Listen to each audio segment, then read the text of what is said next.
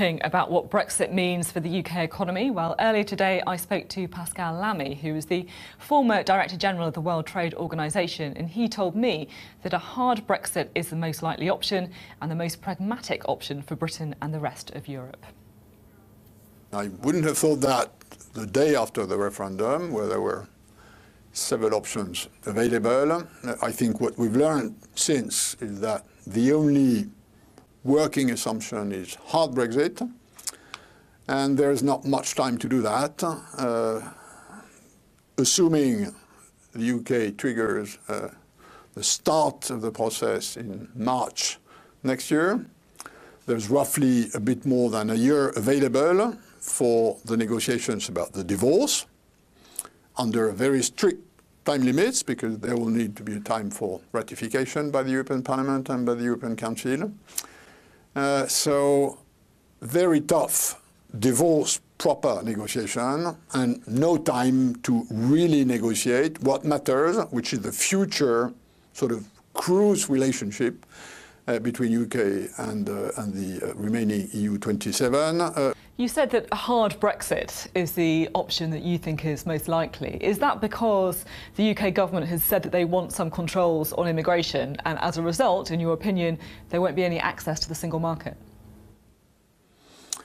That's technically correct. Uh, the reason why I think uh, hard Brexit prevails for the moment is that it's, it's the only way for the Prime Minister to keep the Tories united uh, between those who want to exit at any cost and those who want to remain and who believe that if the cost is really high, then there might be a second thought or bite.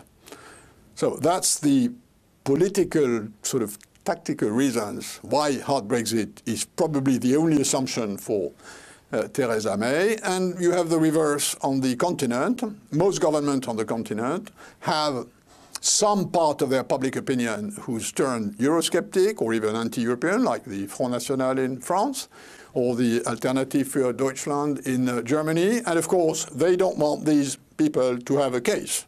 So the harder the Brexit, uh, the more the example will be uh, that going in this direction is not right. So there is a sort of tactical coalition which leads to this only, I think, available assumption, which, as you said, is clearly leaving, including the internal market, including the financial passport and the damage this will create on the City of London and, and so on.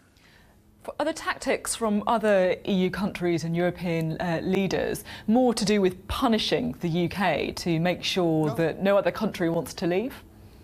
No, I don't think there's any view among uh, remaining EU 27 that it, the UK should be punished. I, I, don't think at all that's the case. But they don't want to be punished by their own Euro-skeptic or anti-European, who are a minority for the moment, let's say 20% of public opinion, but they don't want this to grow.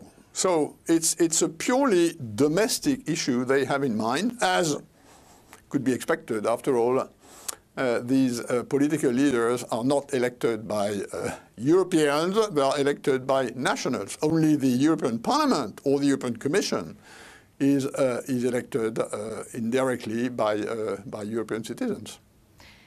The negotiations are going to be pretty tough when they begin. What do you make of Theresa May's charm offensive among other EU leaders?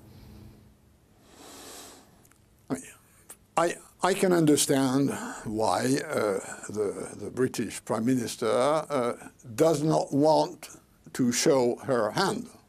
I mean, if, if I'm a negotiator, and I was a negotiator for a large part of my life, I mean, no, you, you, you don't open your game.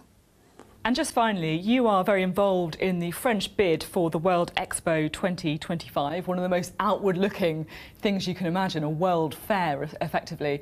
Are you worried about the inward looking nature of the French presidential election, particularly with uh, the isolationist policies such as Marine Le Pen?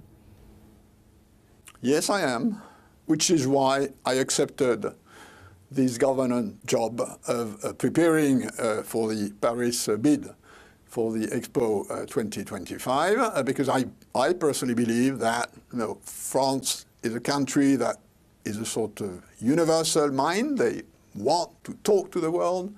Uh, they have idea for the rest of the world. Sometimes it's a bit arrogant or a bit superior, but they have, they have a sort of world mind.